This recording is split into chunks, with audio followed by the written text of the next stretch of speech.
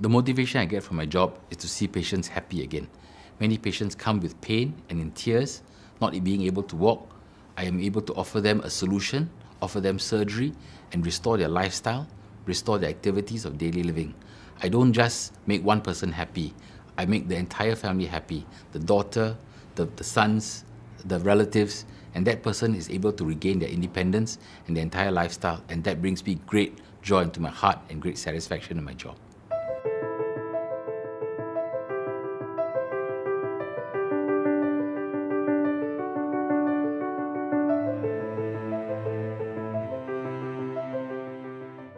I've been doing this for many years. I even did some training at the Mayo Clinic.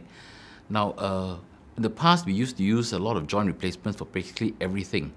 Uh, any patient with pain above 50, above 60 years old, 60 years of age, we used to do a lot of joint replacements.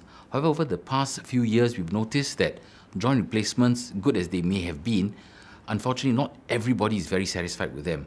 As such, there's been a big turnaround in the amount of, or rather in the way in which we treat arthritis.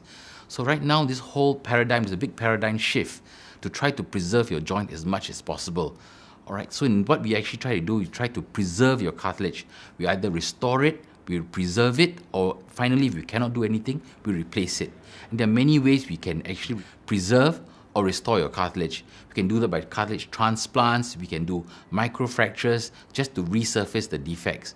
Whatever it is, we are talking about very exciting times now in the treatment of arthritis. This whole realm of joint replacement using robotic surgery.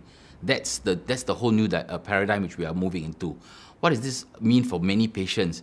Previously, just putting a joint replace, putting a joint replacement, we could good good results. But now you don't even want good results. You want perfect results, perfect alignment, and the only way that can be done is by using a robot. robot. We're using current technology, except, that we are putting it more perfectly. More perfectly how? By using specific uh, uh, radio radio frequencies the computer is able to identify the exact position. We have exacting sizes. We know exactly how much bone we are taking off.